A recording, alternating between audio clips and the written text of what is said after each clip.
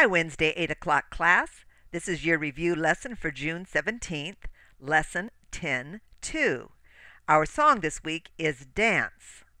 Here's your play along video. The tempo is allegretto, so I'm going to set my metronome for 104, which is on the low side of allegretto.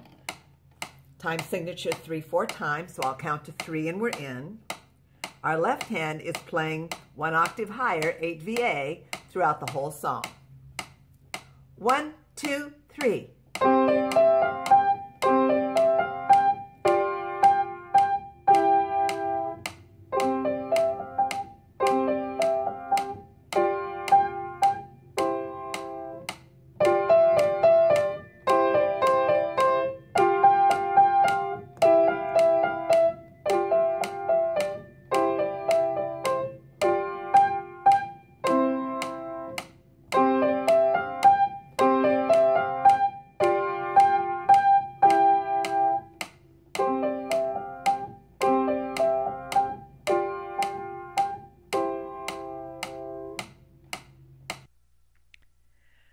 All right, let's take a look at our music.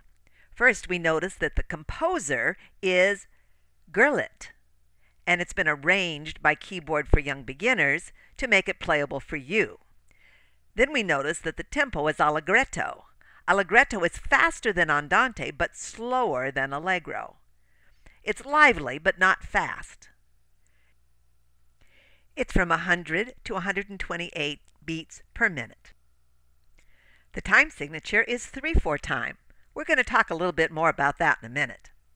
Then we notice that the left hand is going to be playing 8 VA throughout the whole song. Remember, 8 VA means one octave higher. 8 VB means one octave lower. Then we notice the dynamics. We have forte line 1 with an echo of piano line 2, then forte line 3 and piano line 4. Then notice at the end of line 4 it says DC al fine. DC stands for da capo in Italian, which means from the head or the beginning. Al fine means to the end, the fine or finish.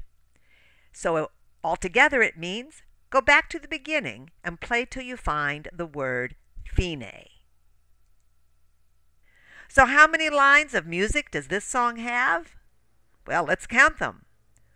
One, two, three, four, five, six.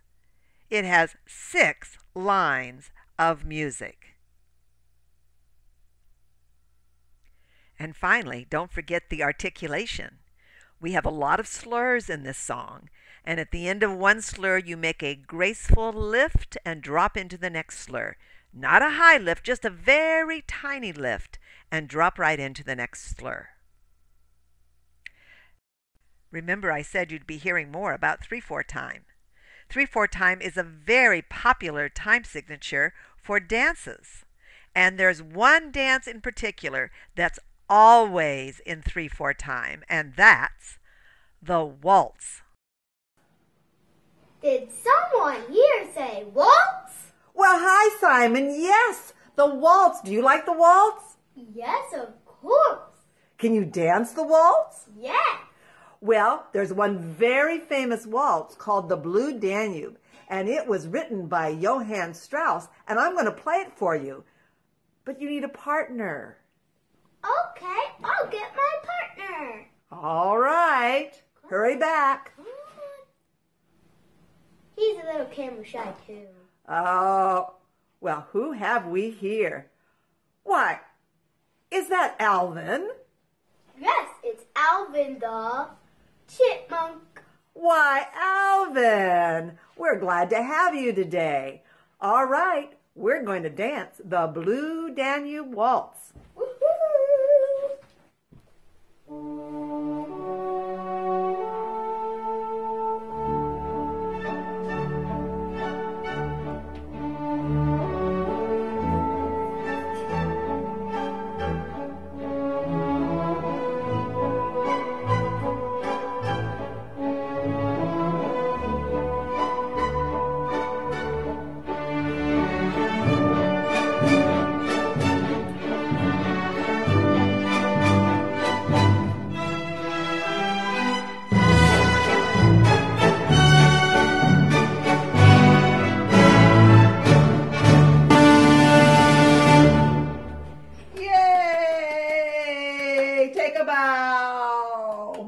Oh, thanks for helping us out, Alvin and Simon.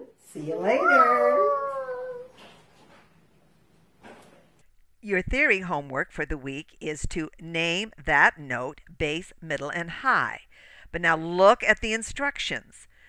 The beginning of the week, you play all the treble clef notes with the second finger of your right hand, and you play the bass clef notes with the second finger of your left hand. You do that every day, and on the last day, you write the letter name of each note in each measure. All right, here's your practice guide for today. Your new song, Dance by Gurlitt. Songs to review, Alouette. Theory, name that note, bass, middle, and high. And here comes our recital next week. Okay, kids, that's all for today. Good job.